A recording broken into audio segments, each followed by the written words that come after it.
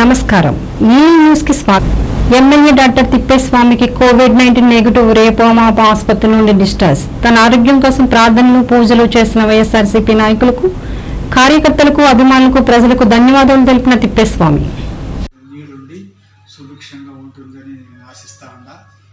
దురదృష్టవశాత్తు ఈ corona virus వల్ల నాకు కరోనా వైరస్ కరోనా వైరస్ సోకి ఈయన పోయిన నెల పంతొమ్మిదవ తారీఖున హైదరాబాద్ హాస్పిటల్ అడ్మిట్ అయినా ఇరవై తొమ్మిదవ తారీఖున డిశ్చార్జ్ చేసినారు కోవిడ్ నెగిటివ్ అని. కానీ ఆయాసం ఎక్కువైన దానివల్ల తిరిగి ఇదే